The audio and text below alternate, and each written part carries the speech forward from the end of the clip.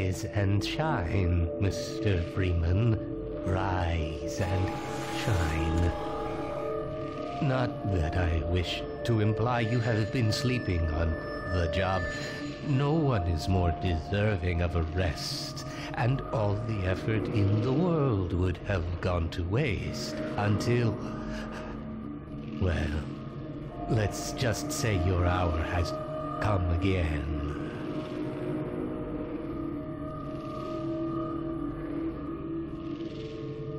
The right man in the wrong place can make all the difference in the world.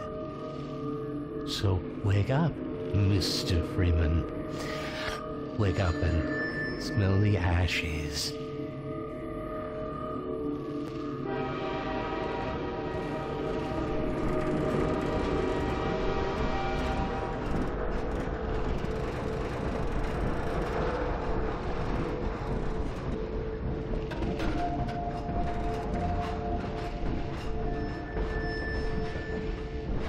I see you get on.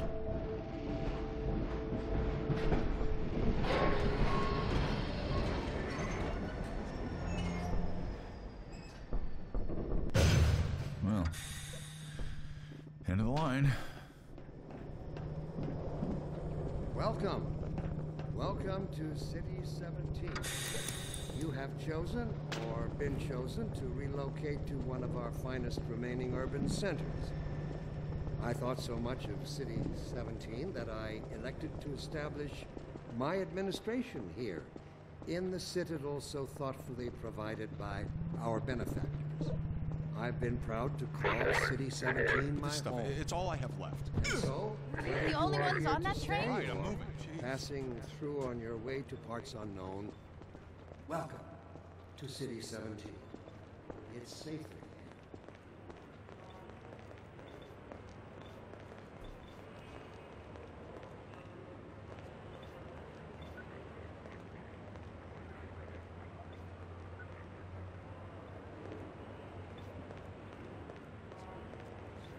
Always departing, but they never arrive.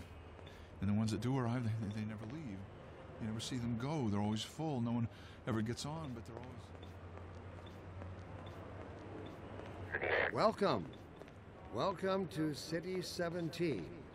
You have chosen or been chosen to relocate to one of our finest remaining urban centers. I thought so much of City 17 that I elected to establish my administration here in the citadel so thoughtfully provided by our benefactors. I've been proud to call City 17 my home. And so, whether you are here to stay or passing through on your way to parts unknown, This must be a mistake. I got a standard relocate, relocate, relocation coupon just like everybody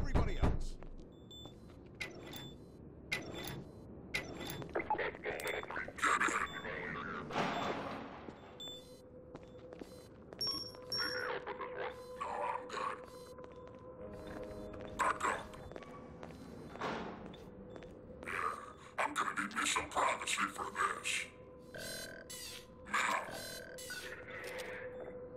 About that beer I owed you. It's me, Gordon, Barney from Black Mesa. Hey, sorry for the scare. I had to put on a show for the cameras. I've been working undercover with civil protection. I can't take too long or they'll get suspicious. I'm way behind on my beating quota. Yes, Barney, what is it? I'm in the middle of a critical test. Sorry, Doc, but look who's here. Great Scott! Gordon Freeman! I expected more warning. Yeah, you and me both, Doc. He was about to board the express to Nova Prospekt. Well, Barney, what do you intend? I'm thinking, I'm thinking. Alyx is around here somewhere. She would have a better idea how to get him here. Well, as long as he stays away from checkpoints, we should be okay. Listen, I gotta go, Doc. We're taking enough chances as it is. Very well. And, uh, Gordon, good to see you. Okay, Gordon. You're gonna have to make your own way to Dr. Kleiner's lab. Oh, man, that's what I was afraid of. Get in here, Gordon, before you blow my cover. Pile up some stuff to get through that window and keep going till you're in the plaza. I'll meet up with you later.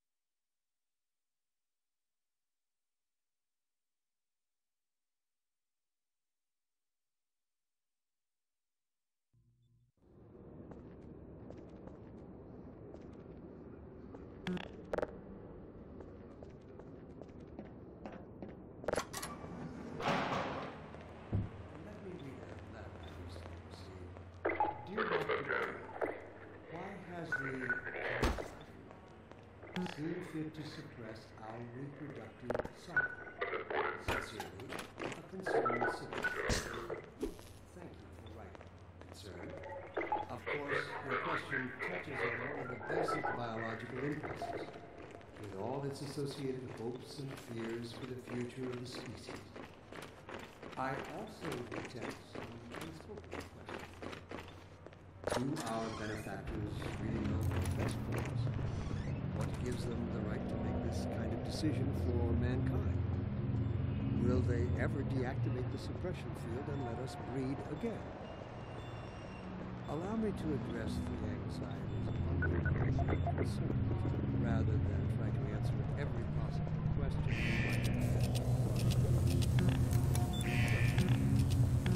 consider the fact that the as a species, immortality is in our reach. This simple fact has far-reaching implications. It requires rethinking and revision of our genetic imperatives. It also requires planning and forethought that run in direct opposition to our neural precepts. I find it helpful at times like these to remind myself that